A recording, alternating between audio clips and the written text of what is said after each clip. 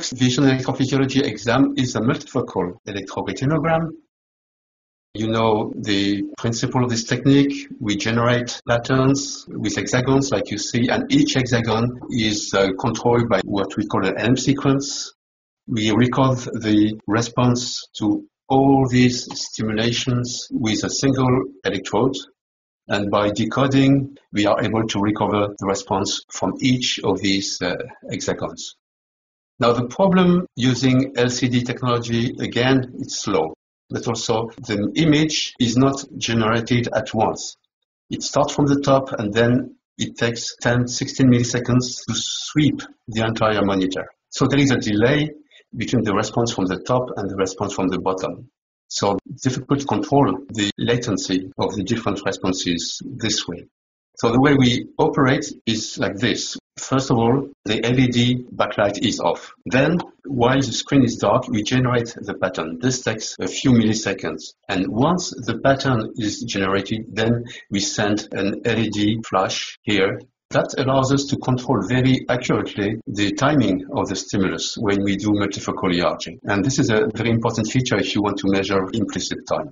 Now, another important feature when you do multifocal ERG, it's the same as when you do visual field you need to correct refraction and the usual lens, rim lens, are not correct because of their size. They will occlude part of the peripheral stimulation. We have developed this technology of large size lenses, 55 millimeter in diameter. They have a magnetic attachment on this uh, headrest, as you can see here, and this allows us to correct refraction without any uh, occlusion of the peripheral hexagon. That is a typical result. We have used during this exam two types of electrodes. Here we have used a, an ERG jet and here we have used a DTL fiber.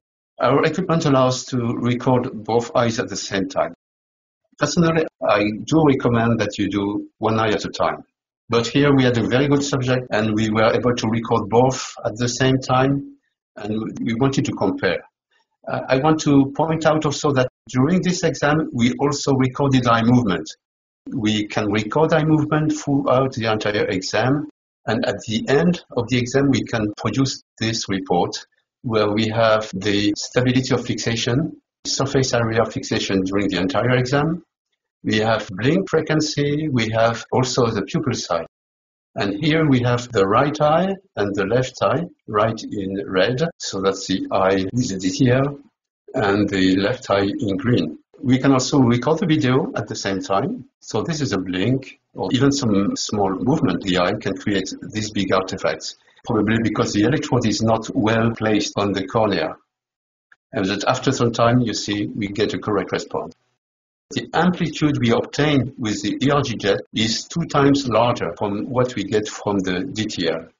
So even though we can record with both types of electrode, what we get with the ERG jet is much better in quality.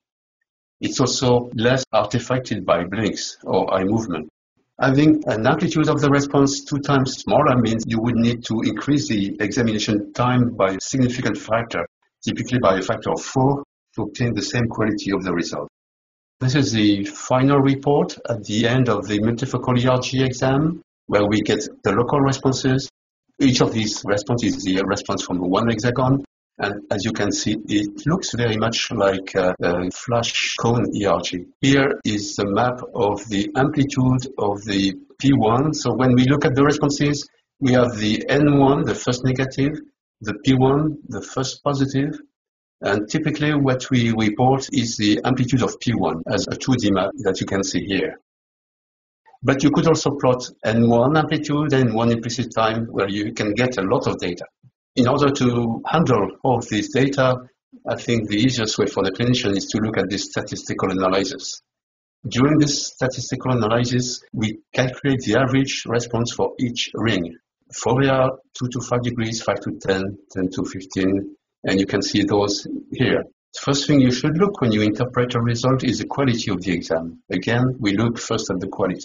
This you can get from this graph here. This graph gives you for each ring the amplitude of the signal, that's the color part, and the amplitude of the noise. This is the black part. you can see here that the amplitude of the signal is much larger. So we have good quality in this exam. So we can go to interpretation, we can look at the other data. Let's get an example from a patient taking hydroxychloroquine. Here you can see the report. You will notice that the amplitude of those responses here between 2 and 5 degrees are slightly reduced. But this definitely is better indicated by the statistical analysis. We compare the responses from this patient to the responses of the normal population and correct it for age.